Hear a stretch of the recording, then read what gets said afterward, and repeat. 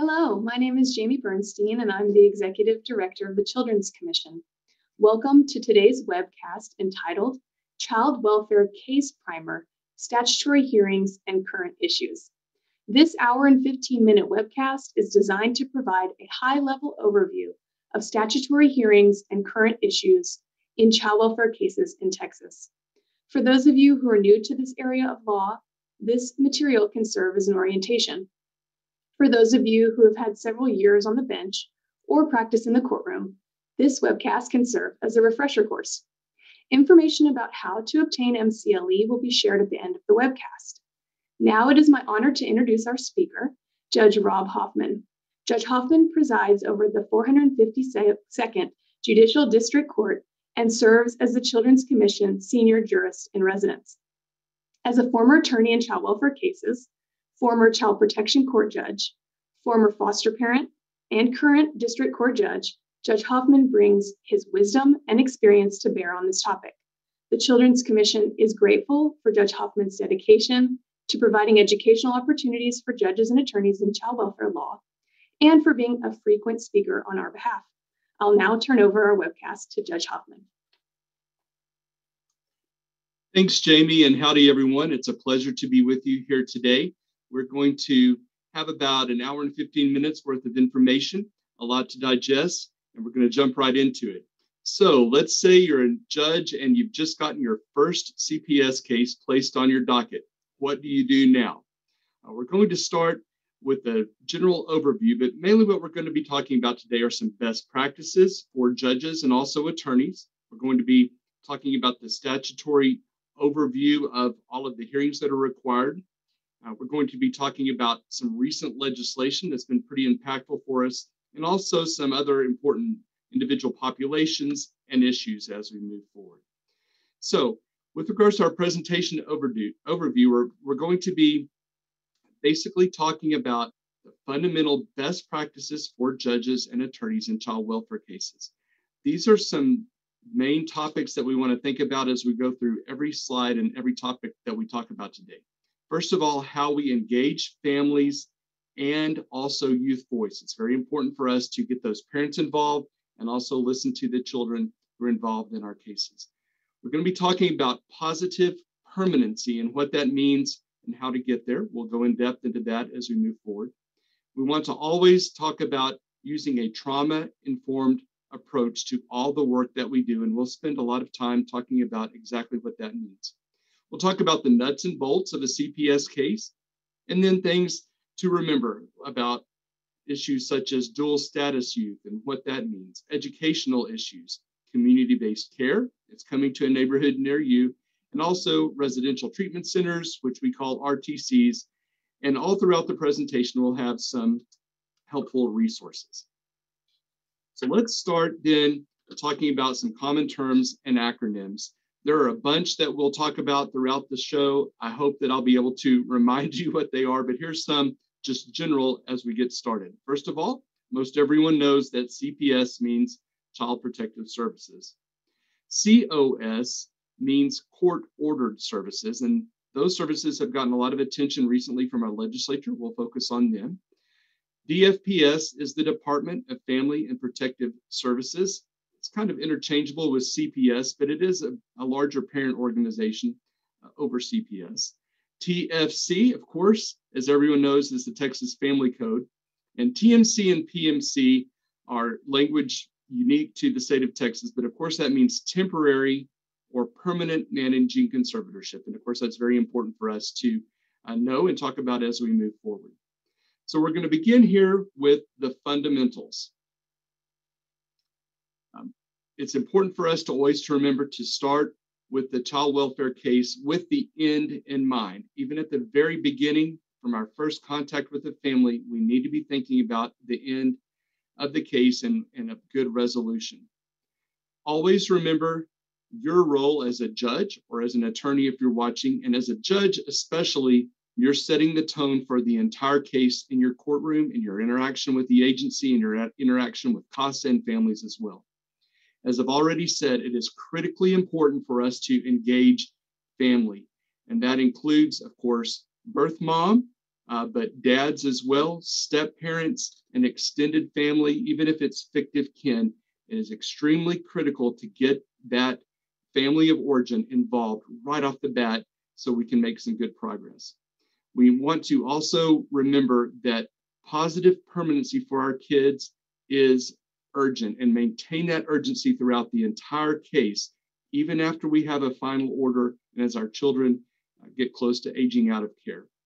And as I've already said, we want to layer everything with a trauma informed approach, which we'll talk about more in a bit. So, judicial leadership is the first thing that we need to talk about because it is extremely important that you set the tone in your courtroom and in your interaction with all of the agencies and folks that you deal with. Now, we know our attorney's powers and duties are set out in the Texas Family Code there in Chapter 107. But when the judge sets the tone for the courtroom, attorneys respond to that, caseworkers, CASAs, parents, and even kids res- respond to the tone that the judge sets in the courtroom. We know that when judges are really engaged and set high expectations, parents, attorneys prepare their clients better for court and get them ready to answer questions, but also to express their needs and concerns. We have attorney ad litems ready to speak on behalf of their child clients and also have their kids prepared to present in court and meet with the judge, maybe in chambers or maybe on Zoom in a breakout room. And then we have our attorneys and parties and CASAs working together to think about creative placement options that could lead to positive permanency. Because usually uh, it's a, a result of working together that we have good outcomes if we can't have reunification. And we also need to remember that the judges, as well as the attorneys, should always address whether reasonable efforts are being made. And we'll talk a little bit more about reasonable efforts here in a bit. So, why do we engage families and youth? Well, it seems obvious, but I want to drill down a little bit and, and talk about it. We know that families and even our kids that are in court are the experts on their lives, and they're the person and the folks that we can talk to about uh, exactly what's going on in the home, what is needed to stabilize the home, to make it safe, and also to talk about different placements if the home reunification is not a possibility. So if you ask a child, what is the best thing we can do to solve the problem in your home? They're probably going to have an answer that they want to talk to you about. Also, it is critically important to engage parents right from the get go to explain to them the severity of what's at stake in a termination proceeding. At every single hearing that I have in a child welfare case, I tell my parents, you understand that if we don't get these issues resolved, your parental rights are subject to being terminated. And also, if you engage parents, you have their buy in, and that is critical for positive permanency. Certainly, if it's reunification, but also for positive permanency, perhaps with a relative or a fictive kin. It's really critical to have that buy in from those parents, even if they're not successfully working their service plans. So, what is positive permanency? Well, DFPS tells us in their guide that positive permanency means that the child exits DFPS care into a permanent setting that includes a legal relationship to a family. So, of course, number one, that would be reunification. And that's the goal that ultimately we're seeking uh, always in a case. If that's not a possibility, adoption by a relative or a fictive kin or a non fictive uh, person. And also, we have the choice of PMC or permanent managing conservatorship to a relative or another individual. Those are positive permanency outcomes. And as we've said, keeping those things in the back of your mind every time you need a child, every time you have a hearing is critical to start with the end in mind. So, why is it important for us to have positive permanency? Some of these things kind of speak for themselves as well, but I want to go through them because I think it's important for us to remember and keep them in the back of our mind. Obviously, every child deserves a, fam- a family. They're going to be more successful uh, in that situation. Every child will benefit from positive and healthy and stable relationships. And that's really what we're looking for as we exit a stable relationship for our kids as we uh, send them off into the world. Again, we've talked about urgency and how important it is to be focusing on that positive permanency as we move forward because we don't have a lot of time to get this issue resolved. So uh, the Children's Bureau quote is there telling us what they think positive permanency is. I'm not going to read it to you, uh, but it's really important that we focus on that. My notes remind me that um, if kids age out of care, that one out of every four of them is going to be homeless within four years of leaving care. So it's very important if we think about that. If we let our kids turn 18 in foster care, one in four of them is going to perhaps be homeless. And of course, we know what happens to those kids. They may be addicted to drugs, they may be trafficked in the sex industry, uh, or other terrible outcomes. Also, we know that statistics from the Texas Criminal Justice Coalition tell us that nearly 70% of young males involved in the foster care system are arrested after leaving foster care. And that's like a 23% higher uh, number than the general population. So it is critically important for us not to just remove kids if their health and safety is at risk, but to put them back into a po- positive, permanent place uh, when we send them on their way. So we talked a little bit about trauma informed care, and we're going to spend a few minutes here talking about what a trauma informed approach is. In a trauma informed system, and we hope our court system and our child welfare system and our juvenile justice system and really all of our systems across the state are trauma informed, and we're moving in that direction. In a trauma informed system, there's a focus on treating and healing the experiences of not only the child, but of the parents as well. And that's a new concept that you might want to think about for a second. But part of restoring and reunifying and finding permanence for kids is healing the trauma of not only the kids, but the parents as well. So, this trauma informed system is research based and it requires the participation of everyone involved, every single person that a family has contact with in the system. That includes the bailiff, standing at the back of the courtroom, uh, your court coordinator, or your secretary when they answer the phone. So, the goal of this approach is to produce better outcomes for children and their families, and that will help reduce recidivism, which is a, an issue that we deal with uh, quite frequently. This approach reduces recidivism and it reduces the number of families who enter the system as well. That's important. So, throughout the life of a case, courts and judges and attorneys can seek to identify trauma suffered by the children and their parents and address that as we move forward. And trauma may, may be uh, occurring even after the case begins. So we can do our best. And here's some examples that I have in my notes about how to have a trauma informed approach. So, first of all, simply creating a physical courtroom environment that is child friendly. You know, some folks and some courts have beautiful murals, they have toys or books or posters, comfortable chairs, snacks, things like that in their courtroom, just to make the courtroom more inviting for kids and families. Something that I think is that is really important that maybe we often overlook is addressing people by their names. It's easy when you have a lot of cases on your docket to say mom, dad, attorney, but it is really critical to have a connection with our parents to have them engaged. So call them by their name, Mrs. Williams, Mr. Smith, or sometimes even if I know these folks personally, I will call them by their first name if it's appropriate.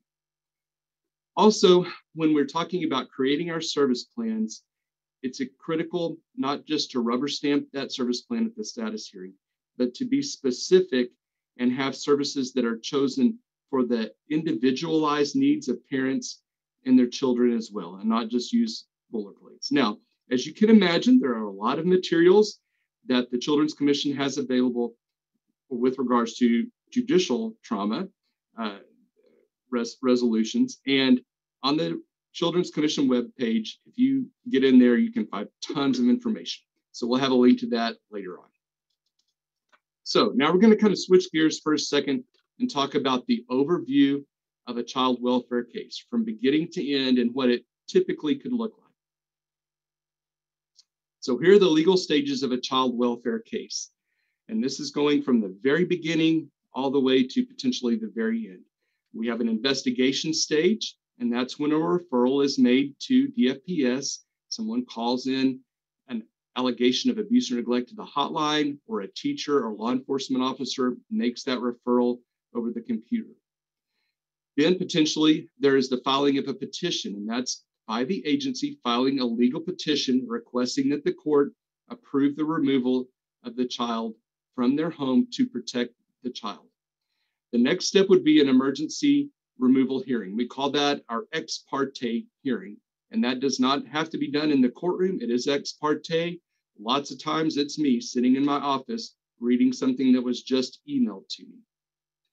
That's the ex parte hearing. And then the judge approves the removal or denies the removal. If the removal is approved, then you would have the adversary hearing, and that's to determine whether the department will continue as the temporary managing conservator of the child or children. After that, we have a status hearing.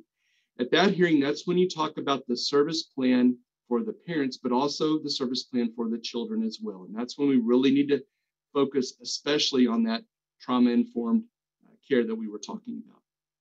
After that, we have permanency hearings. They're called permanency hearings before final order. And that's when we review the parents' progress on their service plans and also the children's needs and how they're doing in care. Uh, we'll talk a little bit more about what those permanency hearings are about. Now, there are deadlines, of course. If there is no agreement for a final order, then there must be a trial, and that would then, of course, determine the placement of the children moving forward. And then here's some permanency outcomes. This is the last bullet here in the, in the slide.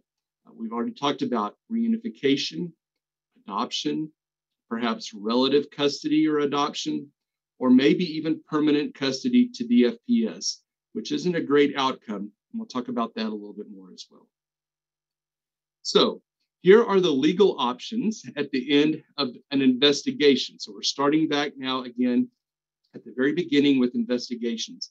As you can see on the left at the low end of the stairs there, allegations can be ruled out or the concerns are addressed, or you could find that no services are necessary. And actually, most of the calls that come in to statewide intake alleging abuse or neglect are actually ruled out. I think more than 50% of those. The next step is the option to have what we call family based safety services. Here's another acronym FBSS. And family based safety services mean that the agency is working with the family, that there are safety is- issues present, but the parents are voluntarily complying, and the agency can work with them without the necessity of court intervention. The next step up is what we call court ordered services. We already talked about that acronym, but that would be where there are safety issues present, and the court is required to enter orders with regards to the interaction between the family and the agency. So the court would order parents to participate in services, order the agency to provide those services, and then the court would review the compliance uh, from both parties moving forward. And then, of course, ultimately, the most severe remedy at the end of an investigation would be temporary managing conservatorship to DFPS. And that would be where safety issues are present and it would require the child to be removed from the family. Okay, so a little bit more about court ordered services. We had some really great legislation this session. I think the best thing the legislature did and has done in, in a long time is give us a little bit more power, a little more tools to work with to deal with court ordered services. So when the agency files a request for court ordered services, not removing the child into care, but working with the family, with the children at home, we now have the ability to appoint attorneys for the parents, attorney ad litem for the parents, and also for the children. That is going to be a great tool for everyone to use. Now, there's a standard for these court ordered services hearings, and this is what it is. The court must deny the petition to order the court ordered services unless the court makes a finding under the ordinary prudence and caution standard that abuse and neglect has occurred or that there's a substantial risk of abuse or neglect or continuing danger and that services are necessary to ensure the physical health or safety of the child. That's the new standard. And of course, you can review it, it's there in the family code. Okay, so we're going to talk about the adversary hearing, assuming that the department is asking that the children be removed and placed into the temporary custody of the department. there are two types of adversary hearings. They're very similar, and you can go back and review this later. But one would be uh, when the the child was removed prior to a petition being filed, and the other would be when the child was removed upon the order after the filing of the petition. And so we have our standard here, and this is what your standard is for the adversary. Unless the child has already been returned, and sometimes that happens, the full adversary hearing must be held not later than the 14th day after the child was taken into possession by the governmental entity. So if the child was taken into possession without a court order and the judge doesn't sign the order till a couple of days later, it doesn't matter. The day that you start counting is the day the child comes into custody of the department. And there's several things that you need to make sure are happening in your court as the judge. Most of these things the department is working on, but you need to ensure that they are doing what they're supposed to. First of all, you have to talk about the court of continuing jurisdiction issues. Make sure that all parties have been served. Lots of times we get moms served but have struggles getting dad or the multiple dads served. So that is something that's important for us to talk about right off the bat when we get to court. And also, obviously, make sure that that child has an attorney and guardian ad litem appointed as required by law. Now, another good thing that's uh, happened over the last several years is that parents also have the right to have appointed counsel if they are indigent and if they appear in opposition to the suit. So parents have the right immediately to file an application for a court appointed attorney. If they're indigent, appoint that attorney immediately. And if they show up without an attorney at the adversary hearing and they're requesting one, uh, you really need to reset that hearing, give them time to have their attorney appointed if they qualify and to have a meaningful interaction with that attorney prior to the hearing. So at that adversary hearing, we're going to do makes findings and orders. And here's a list of some things that you need to think about. Make sure certainly that there's evidence and sufficient evidence to grant continuing temporary managing conservatorship to the department. We need to make sure that the department has made reasonable efforts to prevent the removal of the child. And we'll talk a little bit more about reasonable reasonable efforts moving forward, but it is a requirement and a standard that is required that the department has made reasonable efforts. So that is also finding that you have to make. The court also needs to make sure that the parents understand that their rights can be restricted or even terminated. This is uh, an important juncture in a case when you have those parents before you and you can look them in the eye and say, look, if we don't get this problem resolved, your rights can be restricted or even terminated. And at the conclusion of the adversary hearing, if I keep kids in care, I tell those parents, look, your odds are about 50 50 that you're going to have a reunification in this case. Uh, you really need to make it clear to them and explain to them the severity and also the urgency of moving forward. Courts can determine if aggravated circumstances exist, and we'll talk a little bit more about that moving forward. But if, if there are aggravated circumstances as to a parent, the court is not, the, the department is not required to uh, present a service plan for those parents. That doesn't happen a whole lot, and there's a lot of technicalities surrounding that. So we'll delve into that more a little bit as we move forward. Also, the court can issue protective orders if necessary. Now, this doesn't happen very often because the court's general order is going to cover most everything you need to, but the court does have the authority to issue additional protective orders if necessary. The court can place a child with the non custodial parent. And a lot of times in the past, this didn't happen, but now we have new legislation and standards with regards to that. So the child must be placed with that non custodial parent or another relative, even, unless it's not in the child's best interest. So that is something you may really need to think about at that hearing, not just uh, default into keeping the child into foster care, but really think about relative and non custodial parent placement. Okay, Finally, the court issues its orders and schedules the status hearing. So we're going to switch gears for a second and talk about what are reasonable efforts. So, as I said earlier, it is statutorily mandated in Texas that DFPS must make reasonable efforts to preserve and reunify families and to achieve permanency for children.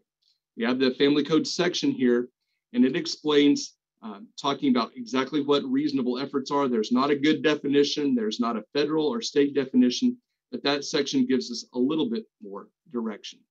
The bottom line here, literally, the bottom line on our on our slide here is that a finding of no reasonable efforts results in the loss of federal funding to the state agency. Now, there's nuances to that as well, but generally remember that you have a big tool here as a judge and a big tool to argue as an attorney that the department didn't make reasonable efforts. And if that finding is made, it cuts off federal funding, sometimes permanently, for the state agency.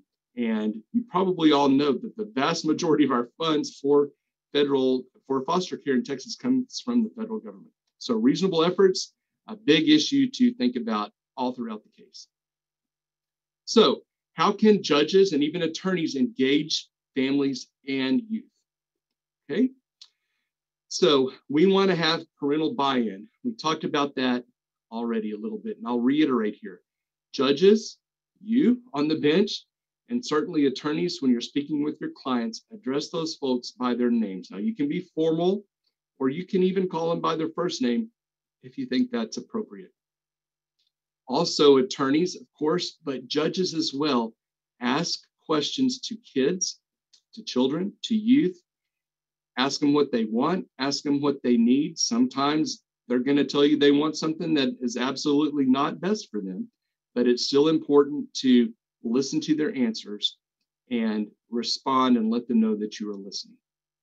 So here's a little bit of silver lining from the COVID era that we live in. Something interesting happened when we started having all of our hearings on Zoom. All of a sudden, all these parents started showing up and communicating. You know, I, I usually say it's interesting to see folks in their natural habitat. Sometimes we have parents um, from their job. I've had guys have to step outside with their hard hat on, uh, talk to me on their mobile phone uh, from their work. Sometimes we have families at home, even sitting on their bed. I think there's, you know, stories about folks having to go out in the pasture out in West Texas so they can have connection. It's interesting to see those folks in the natural habitat. But the good thing is, parents are more comfortable and um, easier to interact with. And also, our kids are way more comfortable when they're maybe in their safe space, in their bedroom, on their bed with their stuffed animal. So it's a lot easier to en- engage kids in those hearings. And also, just remember, it's very important as an attorney to build trust and communication with your client. And in doing so, like the slide says, you're facilitating what services they may need, planning those services, staggering them, and you're also building your legal case and also always thinking about possible placements. So we want to think a little bit about kids, and we call this slide the whirlwind of out of home care. This is nothing new. Everybody knows everything on this slide, but sometimes it's good just to kind of think about uh, what happens to kids when they're removed from care. They probably didn't have a chance to say goodbye to their parents. They may not be placed with their siblings, and of course, they're wondering where everyone is and how they're doing.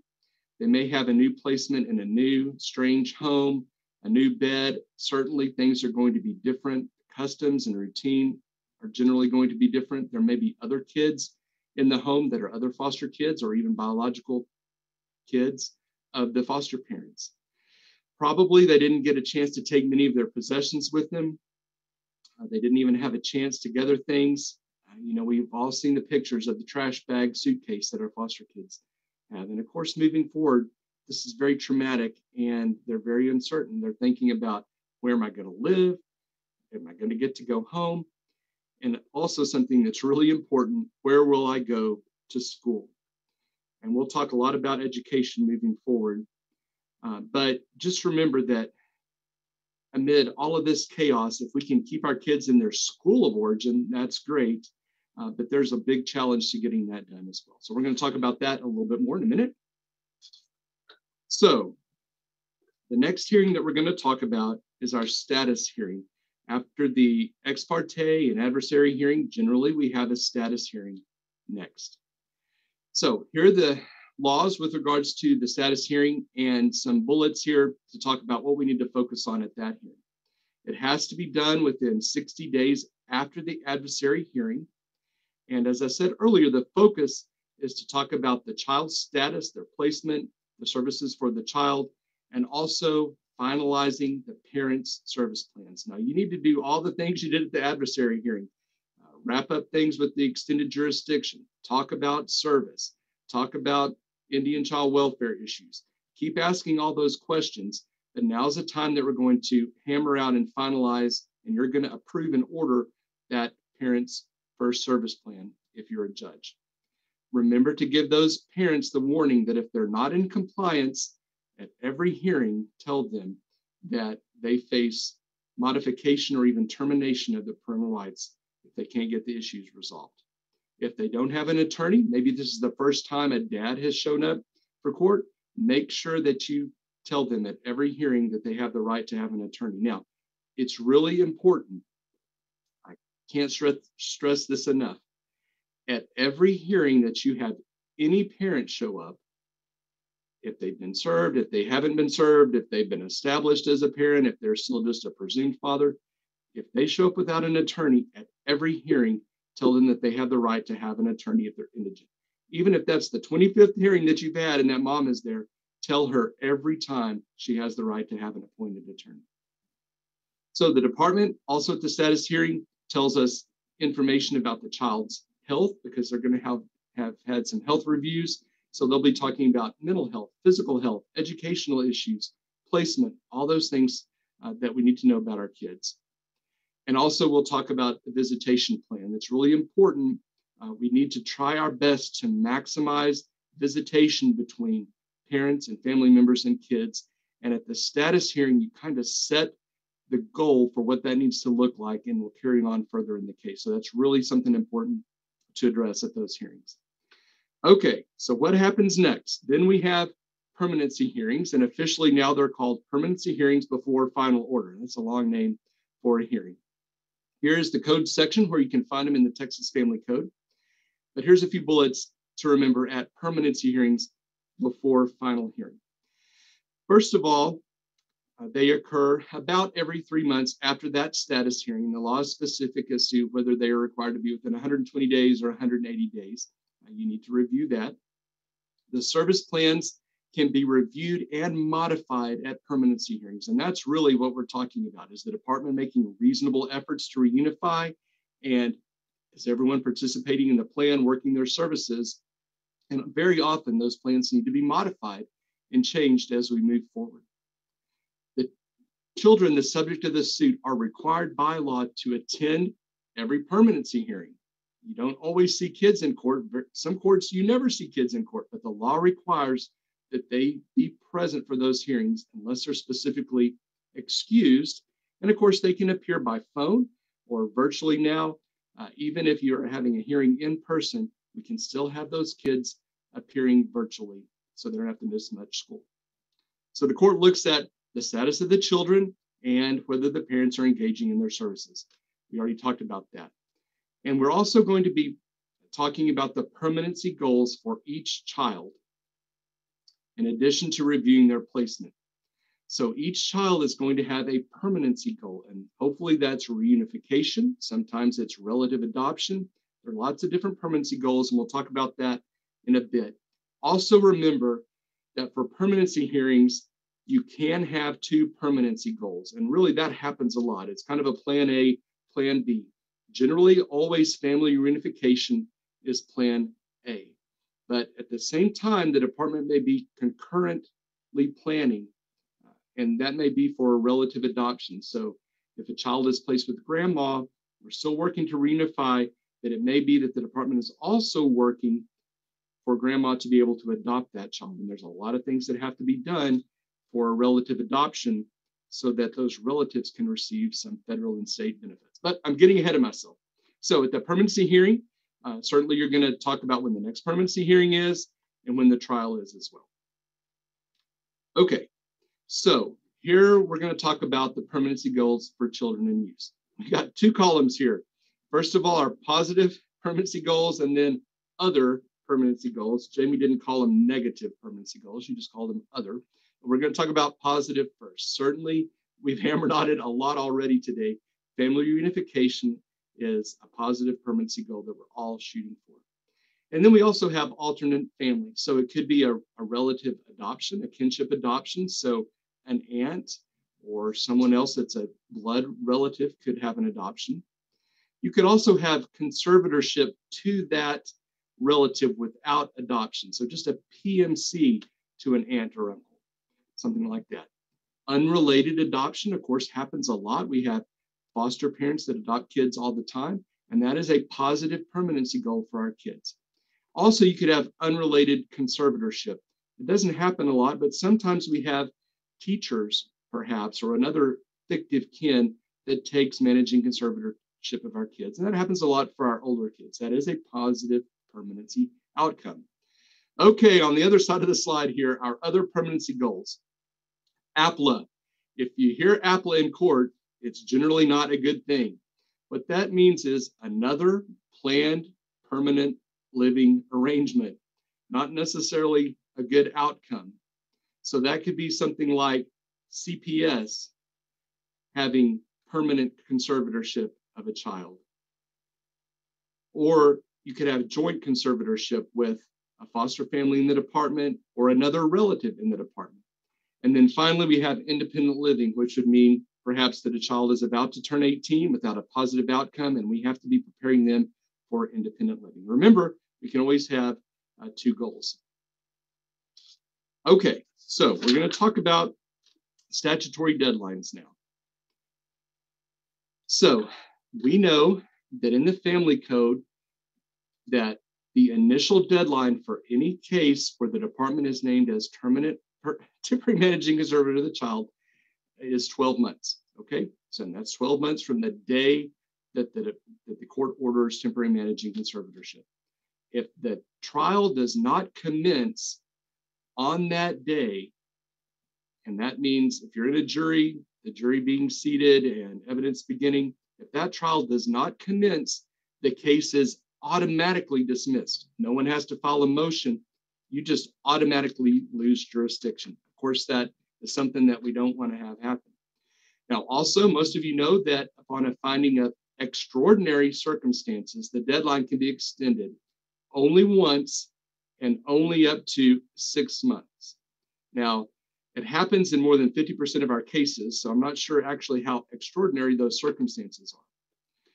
But Texas has kind of a truncated time frame, a little bit tighter than federal law requires, which is a good thing because the purpose of this is to make sure we achieve permanency for our kids in a timely manner and just uh, prevent kids from languishing in foster care. When I began as an attorney, as Jamie said back when I was representing the department for a few years, there wasn't this requirement. And we had kids who were in the temporary custody of the department for years and years and years. So it's a good thing. And we're getting back on track after COVID to make sure that we get back into that truncated 12 month. Okay, one option that we have also is a monitored return of the child to the parent under the family code. So we're going to talk about a monitored return. This is something we haven't mentioned so far. So sometimes things are going great and it's time to think about reunification of the child with the family. But the department or the court still wants to have a little bit of control and monitoring over the circumstances. So this code gives us the option for the court to retain jurisdiction for up to six additional months, not dismiss the case, and not render a final order, but have a six month monitored return. Here are the findings. You have to find that retaining the jurisdiction is in the best interest of the child. You order the department to return the child to their parent and then continue that service plan for the child services, for the parent services, and have an order. It is a temporary order.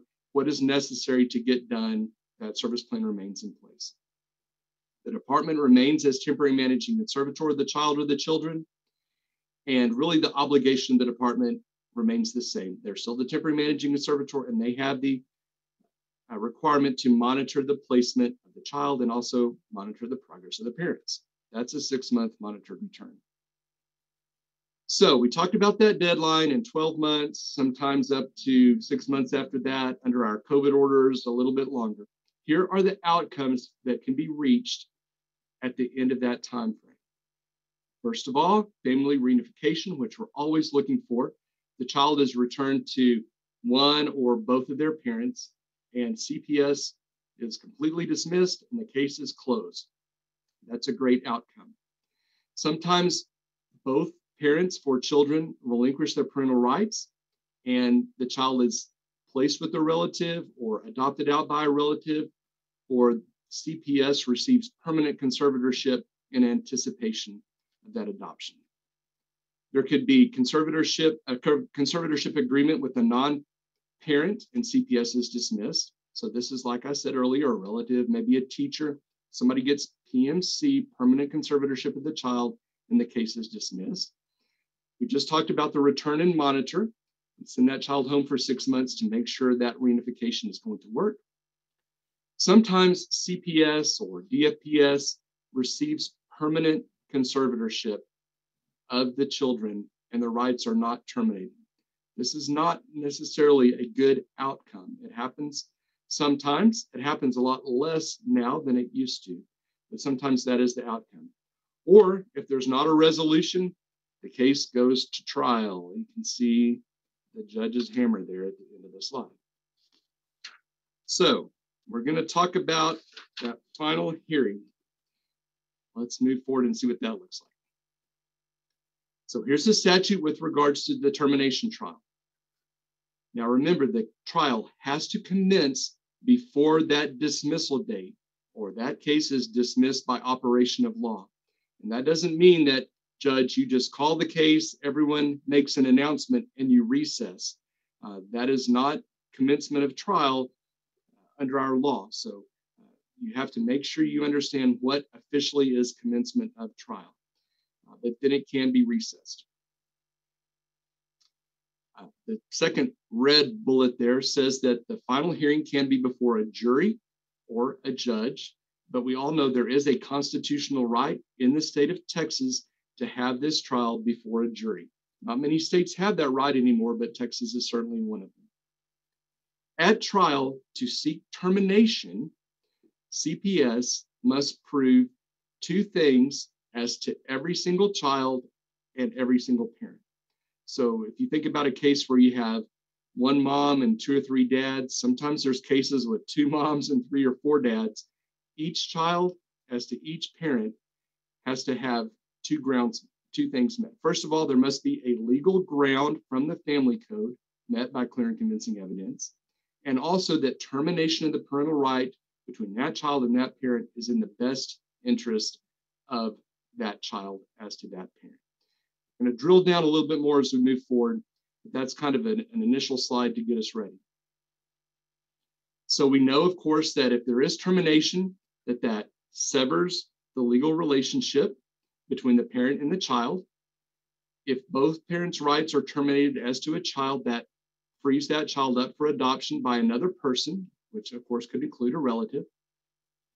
As I've already said, the termination ground from the family code, as well as best interest, must be proved by clear and convincing evidence. That's our standard in Texas.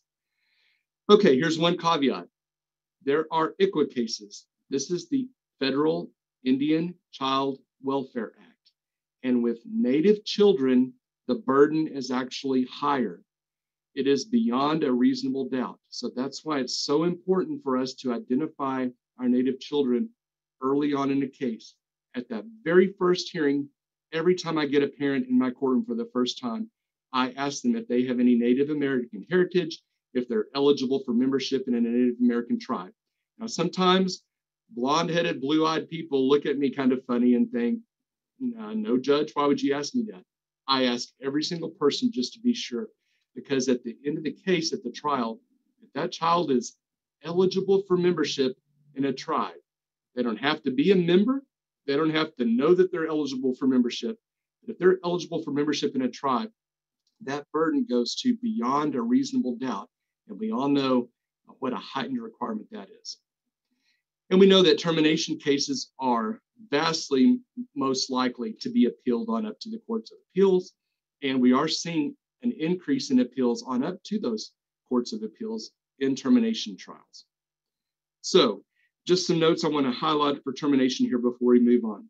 Termination can be as to one child if there are more than one children, or as to only one parent for both parents. So it's kind of unusual, but sometimes you might have termination as to one child and not other children. If that child is placed in an adoptive home and others are being uh, reunified or even given conservatorship to a relative. So you don't have to have the same outcome for every child. And really, you don't have to have the same outcome for every parent, although it is the public policy of the state of Texas that if the department is seeking termination as to one parent, they have to seek termination as to both parents. Also, I want to make sure you, you know a lot of times kids don't want termination. And maybe it's not, not the right thing for them, and they have a valid reason for that. Uh, sometimes we have kids, certainly older kids in our court, that are placed in a foster home, and they say, Judge, I want to live in this foster home until I turn 18 and beyond, but I do not want my rights to be terminated. That's a tough decision and a tough issue. It results in one of those APLAs that we talked about earlier, that it might be the best thing. So, certainly, that's something you need to consider and get the input of all your advocates. Obviously, know that this termination is permanent. And just remember that here's a big trauma point for us. So it's something we need to plan for and take care of moving forward. Um, trauma certainly occurs if there's termination, even if it's the best thing for the child beyond a reasonable doubt. Okay, let's move forward then. So this slide says finding positive permanency after termination. So even after termination, is it too late to find positive permanency for our children or youth? Obviously, the answer is no, okay, because lots of times that termination is being done to set up an, an adoption by a relative or a foster parent. Regardless of if you have children placed with their grandma who they've been with for two years, or if they're placed in a foster home and they were a baby when they were placed there and now they're nine months old, even if you have great placements, it is still the responsibility of the court to have a judicial expectation of urgency to get those adoptions consummated or to get children placed where they need to be placed or to plan for their aging out if we think they're going to turn 18 before we get them a permanent placement. Our attorneys certainly need to remain focused here as we move forward. We have some great attorneys across the state of Texas I'm so proud of the advocacy that they do and the organizations and the certification that we have for them. And certainly the guys that appear in my court do an excellent job. If we have a child in PMC, in the permanent care of the department, this is really where our attorneys have to crank it up. We know CASA is with us for the long haul and does a great job, but our attorneys really can do a great job of advocating for their kids at this stage in the case. I've got attorneys that take our kids on college visits all over the state, and keep on looking for those relatives. The bullet here says CASA has a collaborative family engagement. It's a new program that they've had for a couple of years. Uh, so State CASA and your local, local program has collaborative family engagement. And that is where we're circling back around, starting from scratch, uh, looking under every rock, leaving no stone unturned to find families or fictive kin for permanent placement. So, as you would expect, permanency hearings after the final order are called permanency hearings after final order. I think Judge Rucker maybe came up with that term. We'll have to ask him about that. So we can still have positive permanency even after we have a final order if the child remains in the permanent custody of the department. We're still looking for relative kin to place for permanent adoption or for conservatorship. We're looking for unrelated adoption. So I just had a couple of weeks ago a family where kids had been in PMC for a pretty good while. I think um, almost three years the case had been going on. And last week, I think I had an adoption on Zoom from the state of Minnesota where three of my kids got adopted. And that placement didn't happen until well after that final order had been entered. So keep on trucking, trying to find a good place for our kids to be adopted or even conservatorship granted. So the question here is what if these positive permanency options are not immediately available? We already talked about that. It's not too late. Judges maintain that sense of urgency because the clock is ticking for our kids as they turn 18. What you can do is continue to stay in good contact uh, with the youth and even family if they're still involved and not terminated, trying to find a resolution. Maintain that urgency. And actually, the bottom bullet tells us something that is also new in the state of Texas. We now officially have reinstatement of parental rights as an option. And sometimes that is the right option and a good option. You know, there have been a lot of cases where kids have been terminated. Uh, parents have been terminated on young kids. Parents have been in prison. They've been successfully paroled out and doing great. And it is definitely, in some cases, absolutely the right idea for those kids and those parents to be reinstated with regards to their parental rights. Okay, so here is the hearing that we have, these permanency review after final order hearings. Here's your code where you can look them up.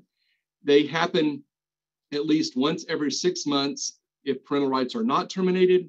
If parental rights are terminated, they happen within every 90 days. Now, in our court, and I think in our child protection courts across the state of Texas, um, it's easier just to schedule every permanency hearing within 90 days. Uh, the law doesn't require it, but I certainly think that that's a best practice as we review those cases. The court's going to review the child's educational needs, and we're going to talk about that a lot more in a bit. Uh, the goals for permanency, participation of in participation in age appropriate activities. Okay, that's a big deal for us. Our kids want to have normalcy. Sometimes we have kids that are 17 years old. They just want to be normal kid, uh, get to go spend the night with their friends, jump on their trampolines, all that sort of stuff. That is something that you really need to make sure that you're allowing your kids to do if it's appropriate. So, um, you know, maybe ask a child when they come to court, what is it that you really want to do, but that your foster parent says you can't do because you're a foster kid? There's certainly ways for you to work around those things. These hearings continue until the child reaches 18. Now, we still can keep jurisdiction and have hearings after the child reaches 18, but permanency review hearings end when the child turns 18. Okay, I want to say a few things from my notes here. Um, sometimes it's it's easy to say, is the child still in their same placement? Okay, let's move along. We really need to be focusing not on their placement and even the stability of their placement, but permanency. What are we going to do to find a permanent placement? Look at those long term connections to the child. And uh, as I've said earlier, we can have extended care where the child can remain Uh, in our jurisdiction past the time they turn 18, and we can be talking about educational outcomes, GEDs, things such as that. All right, that's when we're going to talk about it right now extended foster care. So, if a child turns 18 and they're still in the conservatorship of the department, they can voluntarily remain in care until they're 21. And actually, under the COVID orders, we extended that for a little bit, but the law says until they're 21. And here's some qualifications how they can do that. If they're attending high school or a GED program, if they're in college or an institution of higher learning. So we have lots of our foster kids now who are in college getting degrees, but also this applies to TSTI and technical schools as well. Okay, if they're participating in a program or an activity that promotes or removes barriers to employment, so that's the Workforce Commission type of issues. And if they're employed for 80 hours a month or more, or if they are incapable of doing any of the above activities because of a documented medical condition. So there's a lot of reasons that kids can stay in extended foster care. It's a great thing. It's wonderful. It's been a real blessing to a lot of our kids, and we'll talk about that more as we move forward as well. Okay, we're going to talk about that here. I want to make sure I'm on track. So we're going to talk about supervised independent living.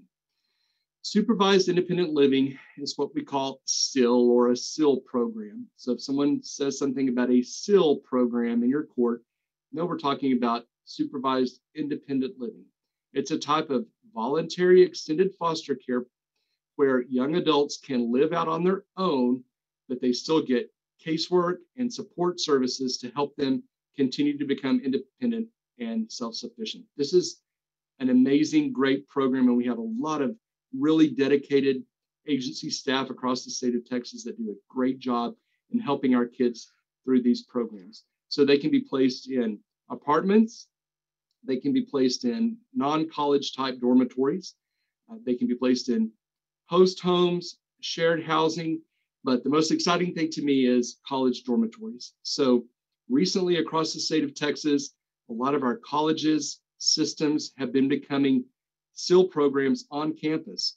So for example, you can go to Texas A&M University at Corpus Christi, be a full-time student and be placed in a SIL program there. And they have uh, 365 days worth of housing and meals for kids.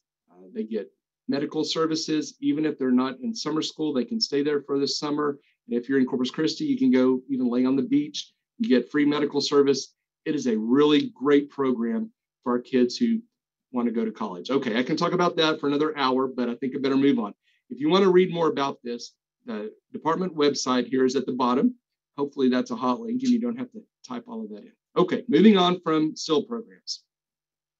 So can positive permanency still be achieved at this late date for our kids? Even if they're about to turn 18 or 18, yes. There are always permanent options for kids up until they turn 18. Set your expectations, continue to talk to them, family, and see if you can't find a place for them. Remember, remind everybody about the urgency. And then, you know, in the back of your mind, remember that we have the possibility of reinstatement of parental rights. Okay, so we're going to talk about some topics here that are very pressing across our state. These are hot topics, new topics, critical topics with the issues that we're facing here in Texas and, of course, across the states as well. First of all, we're going to talk about dual status youth. So, uh, Jamie worked hard, and we have some legislation with regards to dual status youth. And here's the definition from the Family Code A dual status child is a child who has been referred to the juvenile justice system. Okay, just a child that is referred to the juvenile justice system and they're either in the TMC or PMC of DFPS, right? Temporary or permanent conservatorship of the agency. Or maybe they're the subject of a case for which a family based safety service case has been offered or provided by the agency. So if they've been simply referred to the juvenile justice system and there's an investigation and they've been offered services to the child welfare system, that's a pretty low standard, but they're still meeting the definition of a dual status child. Or if they're the alleged victim of abuse or neglect in an open investigation, that also qualifies them, or they're a victim in a case where after an investigation, the agency concluded that there was reason to believe that the child was abused or neglected. Okay, it's a pretty low standard to be identified as a dual status child, and that's a good thing. And here's why. So I want to look, here's a great slide. Uh, here's some data from the Casey Family Programs, and there's the link to it.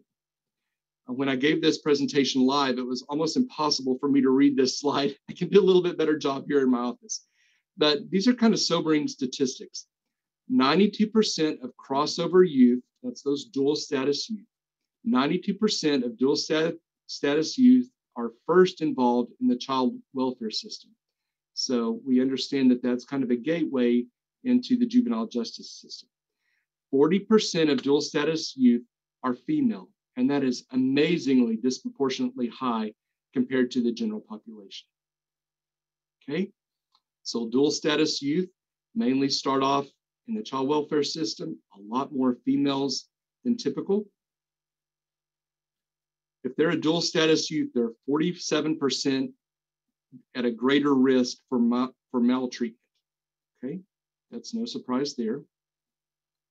African American youth are greatly overrepresented in, as dual status youth. 56% of dual status youth are African American. And it will come as no surprise for you to learn that 83% of dual status youth have mental health or substance abuse, abuse challenges. So that is why in our state, we're really focusing on our dual status youth. Here's a simple slide uh, that we can zip through quickly. Uh, just tells us uh, the system comparison. Of course, both cases are civil cases with confidentiality. Child welfare is permanency focused. Hopefully, you have figured that out by this point of our presentation, where the juvenile system is rehabilitation focused. Um, the child in the child welfare system, you have the right to counsel, uh, which is limited, uh, somewhat limited, and in the juvenile justice system, it is not limited. Of course, we talked about the burdens in the child welfare system already, and in the juvenile justice system, we know it is beyond a reasonable doubt.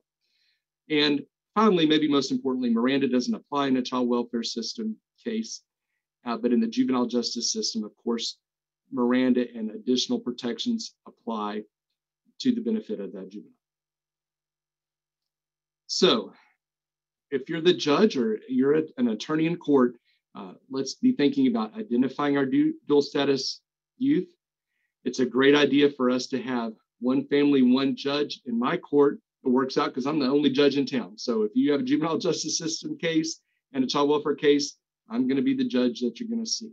And that's a good thing. So you can have concurrent planning. In my court, uh, the children are represented in both systems by the same attorney, which helps a lot as well. And you can hope for agency coordination. Those silos between juvenile justice and child welfare are coming down, and we're doing a good job of having agency coordination. So, a few things to talk about here in my notes for this slide. There are some models for dual status programs across the state of Texas. We have one in Austin, San Antonio. We have some rural uh, places as well, Houston. Uh, we can't forget Judge Coley out there in Waco and the program that he's running, El Paso. And we also have House Bill 1887, which you can investigate on your own. So most of the jurisdictions that have these programs are large, urban, or maybe even mid-sized communities. Our child protection court judges are starting to focus on this issue in the rural areas. But if you don't fit into any of those categories, uh, we can still help you engage and have resources for you if you want to do that. Okay, we're going to switch gears and talk about one of my favorite topics now, uh, education issues. And I'm going to check my time first to make sure that I'm on track here. I think we're doing okay on time. So we're going to talk about education issues. The good news is I'm not going to read this slide to you. I probably couldn't even read it if I tried, but you can go back and pause the presentation and read through here. I'll give you a few of the highlights. First of all, we know it's always important for us to use data to inform the efforts that we take. There is a national working group on foster care and education, and they developed this fact sheet. You can go back and look at it, and I'm going to point out a few of the statistics here from the national data. Texas data is very consistent with this. So, first of all, school stability is a major challenge for kids in foster care. So when we remove kids from their home placement and place them with a relative or into foster care, very, very often they have to change schools. And that is a huge um, impact on them with regards uh, to development, uh, trauma, etc. Somewhere between a third and up to three quarters of kids change schools upon removal. And that's a national statistics. So there's different studies that at the very minimum, at least a third of our kids who come into care have to change their schools. One third of kids in foster care go to more than five different schools during their placement. That's tough. We don't need to talk about how challenging that has to be for our kids. In Texas, students in care are six and a half times more likely to attend one or more schools in one year. Okay, that's tough too. Somewhere between a third and a half of kids are in special education.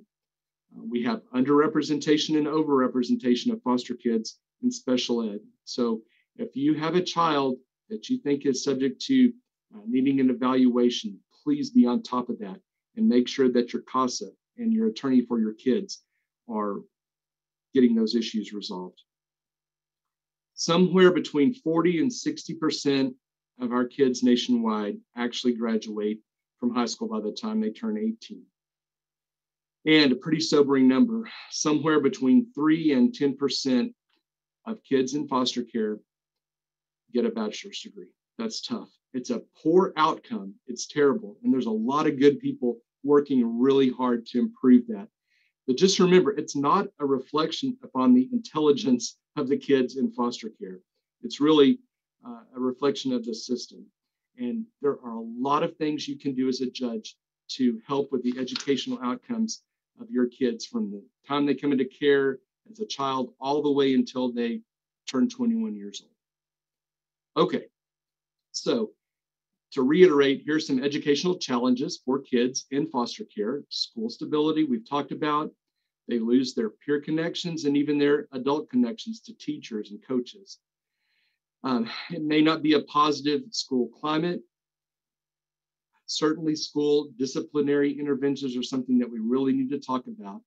And we also have to think about the educational issues for our kids who are in RTCs, in residential treatment, or even in hospital settings, how we can educate those kids. So, my notes for this slide say that school mobility is at the heart of why education is such a challenge for kids in care. We know that. We know that these kids are exposed to trauma, and that can come from school as well, because um, as Jamie's put it, they have an invisible backpack that carries that trauma with them from school to school to school. So, losing all those connections can be traumatic. It's important that our schools maintain a positive climate and that their use of punitive discipline is moderated and tailored for our kids who have already been through so much trauma. You can imagine the bullying and stigmatization that a foster care may have, but they're also carrying that trauma backpack with them. And it's important for administrators and teachers to understand how the discipline really needs to be trauma informed specific to our kids. We've already talked about youth in RTCs and even in hospital settings are going to feel isolated. Of course, um, they have no normalcy, but we have to do our best to allow them to reach their educational goals and have education. It's the law, it's Texas law, it's federal law as well. The good news is at the bottom of the day, at the end of the day, we know that our kids are incredibly resilient. These kids are amazingly resilient and keep pushing education opportunities for our kids because they will take advantage of those and it will be a life changing event for them. So keep education at the top of your list there. Okay, so I think this is one more slide about education and foster kids. So, top five things. Number one, encourage school stability. So, if you're having to make a decision about a placement change, A, consider if the child is going to have to have a school change as well, but also tailor those changes around testing sometimes we move kids three days before their STAR test, and that not only makes the kids upset, but it really drives administrators crazy as well. So think about testing dates, um, those sorts of things when you're making uh, decisions about placement. We have tons of support for students with disabilities. We could talk for hours and hours about that as well. There are lots of opportunities for us to support our kids with disabilities, and we have links to that on the Children's Commission website, and you can find a ton of information there. The next bullet says courts can enforce statutory duties and attorneys can advocate for children and youth's educational rights under federal and state law. Okay. So courts can stick their nose into the school's business. I think that's what we're trying to say here. Um, if your kid is in special education and you're an attorney, go to that ARD. Judges, make sure you're CASAs and your attorneys go to those ARDs. I have personally subpoenaed superintendents and principals and teachers and coaches from school districts into my courtroom so we can resolve issues if we have to. Now, I wouldn't make a habit of doing that. It's something that I don't say to brag about, but I want you to know if you have to advocate for your kids, judge, this is something that you need to do. And this is something, something that I'm passionate about. And then the last bullet there says uh, prepare for transitions. Then that means from pre-K to elementary to junior high to high school and beyond. So be thinking about that in all of your permanency hearings as well. Okay. So here are some of those links and resources that I talked about. You can freeze frame this and go find those later on. We're going to talk for just a few more minutes about community-based care and some other issues. Community-based care is here in Texas and it's expanding across the state of Texas. And this is a system where private agencies, not the child welfare public system, but private agencies are providing care and case management for children in the care of the agency. They provide services for children, youth, and families, hopefully within their community. Uh, we're trying to get more community services localized. What we call an SSCC, which is a single source continuum contractor. A single contractor is responsible in community based care for finding placements, that's foster homes, other placements, and providing the full spectrum of services for children and their families in the agency's care.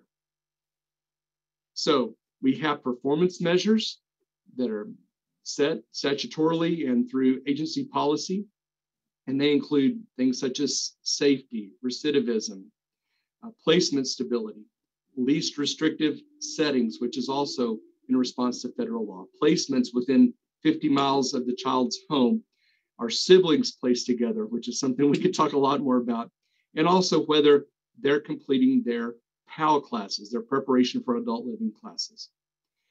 Here's a nice map. It's a little bit skewed. I'm not sure that's exactly what Texas looks like, uh, but here's a map of those catchment areas.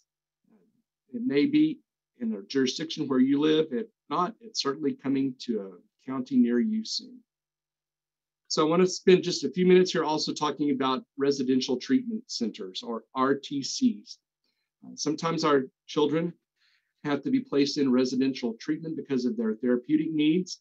Uh, it is meant to be a short-term intervention that across the state sometimes that lags. Uh, we need to remember that it's important even in these settings for us to have family engagement and always be planning for transitioning out of RTCs. Attorneys, hammer that for your kids. What is our transition planning?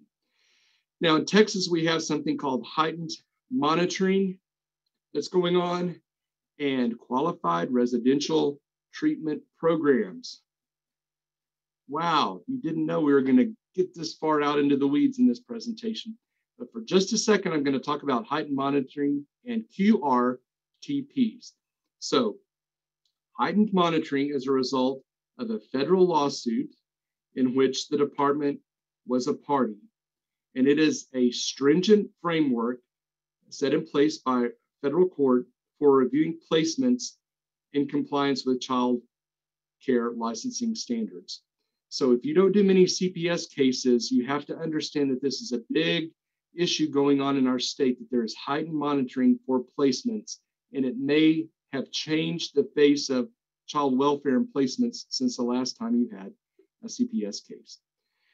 And finally, QRTPs. So there's a federal Families First Prevention Services Act. Maybe this is the last acronym I'll talk about today. The FFPSA, the Family First Prevention Services Act from the federal government. And it defines a qualified residential treatment program, a QRTP. We're in the process of figuring out what that's going to look like in the state of Texas. We don't have any QRTPs in our state right now, but we do have some pilot programs that we're looking at getting started. A QRTP is a highly structured approach to treating children with the very most acute needs in the system. And they have very strict criteria, including federal accreditation, 24 hour clinical on site staff, assessments, family engagement. And there's also going to be a required court review process for QRTP placements. So all of our judges are going to have to learn this new process and how we're going to review QRTPs. The last thing I want to say about QRTPs is um, we need to be extremely careful about ordering kids into QRTPs as a blanket order. If uh, maybe that's the right thing to do, and attorneys, you very well may need to advocate for this placement. It may be a great idea for your child. But before an attorney advocates for a QRTP placement, before a judge orders that placement, let's make sure that we understand exactly what that means because it's pretty restrictive. Okay. There are some more recesses, resources for you. It's about time for us to have a recess, but here's some resources for you. You can freeze frame and look those up. Let me just say also that this presentation is a primer. It was designed to be high level overview. And I would just want to encourage each of you, if you're a judge or if you're an attorney, to take a look at our Texas Children's Commission's bench book. I've got a copy right here with me. It's great.